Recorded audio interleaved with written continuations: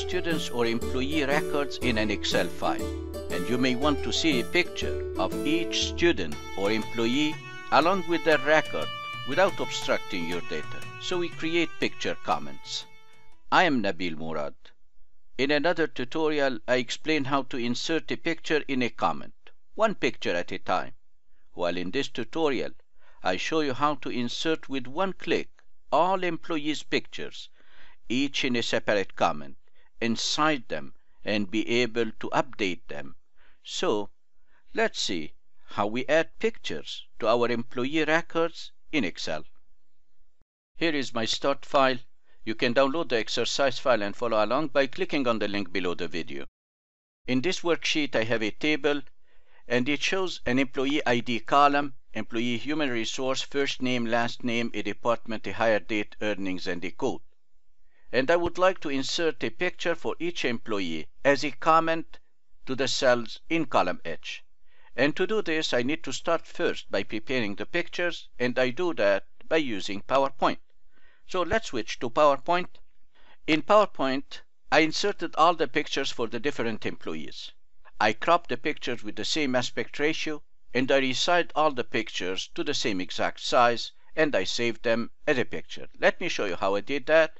So here is a picture of one of the employees. Of course, it doesn't match the same size for the other pictures. So I start by selecting this picture and I click on the picture format tab on the ribbon and to the right side I click on the down arrow for crop and I go down to aspect ratio. I want to adjust the picture size to the ratio of 4 to 5. So I select 4 to 5 and now I need to select which part of the picture will appear in this aspect ratio so I can drag my picture to the right and left to adjust the person in the middle of the picture and then I apply the cropping by clicking on crop. Once I have done that, the crop portion are still there. So if you click on crop one more time, you see the gray portions of the picture that have been cropped. I don't want to keep them. I want to delete them so as not to increase the size of my file. So I'm going to do that by clicking on compressed picture on the left side of the format tab.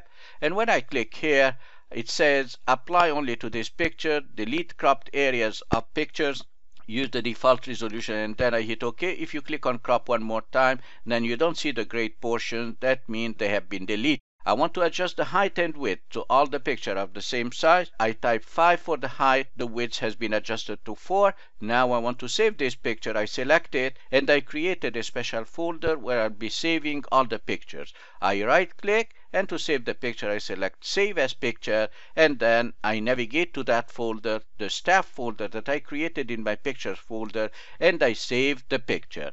All the pictures have a pattern in the name. So all the pictures have been named img underscore and a number. Where does this number come from? That's the number you see in column H in the Excel file. So if I switch to Excel, in column H, I have an incremental number and I'm storing the picture using this number preceded by the prefix img underscore.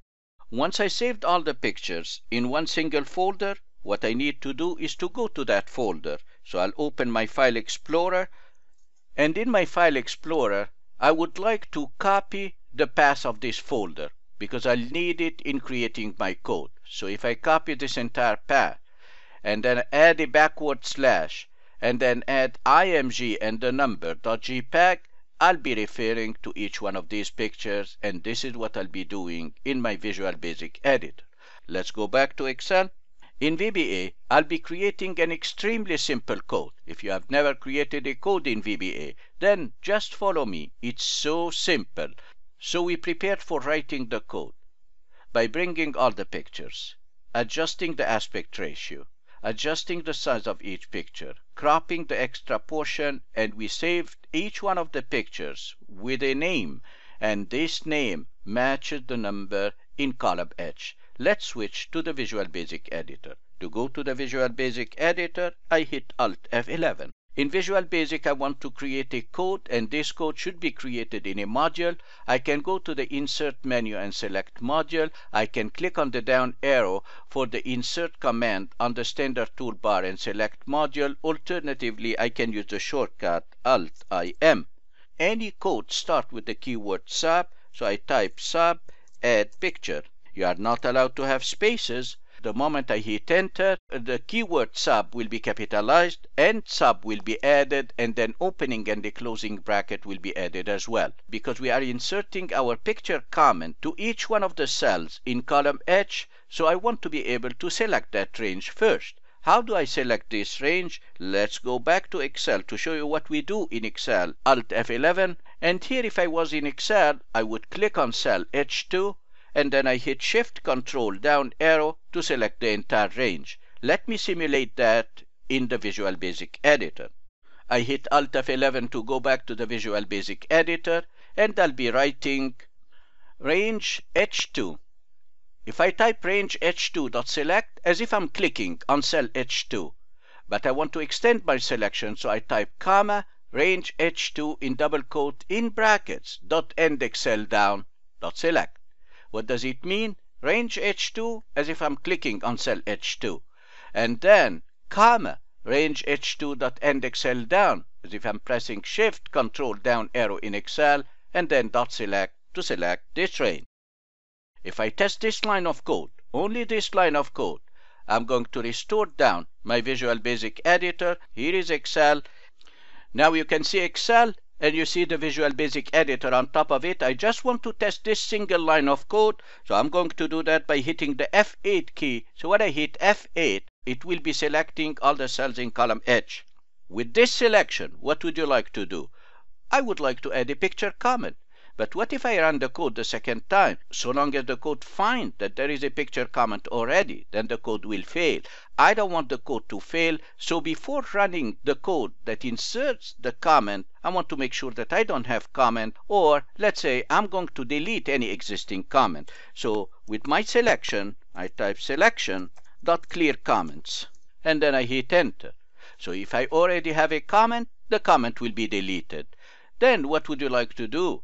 Well, I would like to go to each individual cell and add a picture comment uh, because I'll be repeating the same instruction to each one of the cells. Then I want to loop over my selection.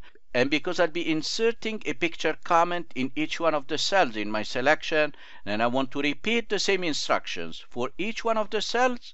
So I type for each cell in selection, and then I hit enter twice, and then I type next cell which means I'm going to repeat whatever instructions I have between for each and next to each individual cell in the selection. What are these instructions? For each cell in selection, what would you like to do? I want to store a reference to the picture that I'll be using, so I'll be using a variable. A variable is simply a container, and this container has a name. I named my variable this picture. A variable is a container that stores a reference to an object. And because I'll be running my code for each individual cell in my selection, then the values stored in this variable should change every time. I copied the path of one of the pictures. You will have a different path, of course. And for my variable, which is named this picture, the value will be the entire path ending with the prefix img underscore because all the pictures are named img underscore and the number coming from column H with the extension .jpeg. That's why my variable has this entire path in double quotation and I'm joining it to the number coming from column H this number coming from column H the first time it will be 201 the second one 202 and so on and then the extension .jpeg in double quotation. That will be generating the entire path of each picture every time I run the code. After declaring my variable, I would like to write the instructions that will insert a picture comment and resize it. So let's understand these instructions with cell.add comment. This line will add a comment. And for this comment, I want to change the shape. So in the next line, I write dot shape. I want to change the fill of that shape. I want to use a user picture for that shape. So I write dot shape dot fill dot user picture, then a space and this picture. This picture corresponds to my variable. The first time this picture will be the first one, 201. The second time it will grab a different picture, 202, 203, and so on, since all of them have been named with the same exact pattern. The next line, dot shape dot height equals 125 and the next line dot shape dot width equal 100 that means I'm resizing all the comment size all the container all the shapes to be exactly the same. Before testing my code I want to delete some spaces and adjust the indentation. So I adjusted the indentation of my code. I want to resize my Visual Basic editor and I want to run this code line by line and see what's happening in the background in Excel.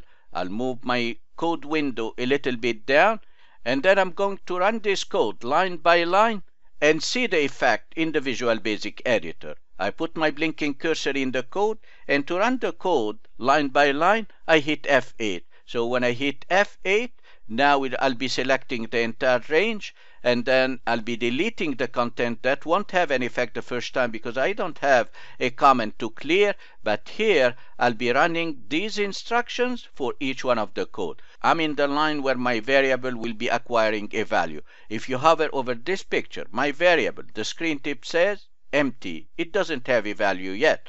But when I hit one more F8 and hover over this one, it's acquiring a value for the first picture, img underscore 201.jpg. Now let's run the code F8. A picture comment has been inserted into Excel. The previous line inserted a comment in cell H2. If I continue running the code by hitting F8, I'm resizing the height to 125 and resizing the width to 100. Now if I hit F8 one more time, the number in the screen tip will change from 201 to 202 and so on. So if I hit F8, now if you hover over this picture, it has a different value, 202 and so on, and I'll keep repeating all the instructions. To run the code in one single go, I click on the run button. Let's go to Excel and check. So if I hover over each one of the pictures, I see that a picture comment has been added. Let me test my code if I add more records to my list. And if I navigate a little bit to the right, I do have some more records. Let me grab these records, Control C to copy, and let's go to the end of list. And in the first empty cell, I'll be pasting the record. They become part of my table. Now I would like to run this code another time. And now I go to the Visual Basic Editor, Alt F11. I want to run the entire code one more time. So if I click in the subroutine and then I hit F8, F8 and the next F8, look at this, because I already have comments, so it will delete the comments. So look at this F8, it deleted all the comments. I don't see the red triangle anymore in the upper right corner of each cell and then I'll continue running the code by hitting the F5 key. Now if I close my Visual Basic Editor and go back to Excel, all the employee records have a picture comment including the new record that have been added. Every time I run the code, I need to go to the Visual Basic Editor. I want to make this functionality a lot easier to me. So I'm going to customize my Quick Access toolbar and add my little code to the Quick Access toolbar. To do this, I click on the down arrow to the right side of the Quick Access toolbar, go down to More Commands, and in the Excel Options dialog box, I switch from Popular Commands to Macros. Now I can see the macro, so I select it and then click on Add. The Add Picture subroutine has been added. I want to change the icon, so I click on Modify and I select any icon. Let's select this people icon to recognize my macro from its icon and then I hit OK and another OK and now I can see my code being added to the Quick Access toolbar. And in order to test it, I'm going to manually select all the comments and delete them. To select all the comments in a worksheet, we use the shortcut Control Shift O. And to delete all the comments, I can go to the Review tab and click on Delete. Alternatively, I can use the shortcut Alt RD, and that deletes all the comments. Now let me test. Without even selecting any cell in column H, I can run the code and add all the pictures in one single click by clicking on this people icon that I added to the quick access toolbar. Keep an eye on column H. If you blink, you miss the whole action. All the pictures will be added with one single click. Now hovering over any cell in column H, reveals the picture comment. I added an extra sheet with all the instructions and the code for creating a picture comment. Just follow these steps and you will be able to create the entire project from ground up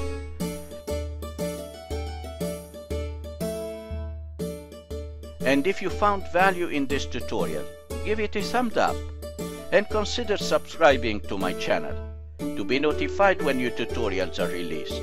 The best is yet to come. Thank you for watching and see you next time.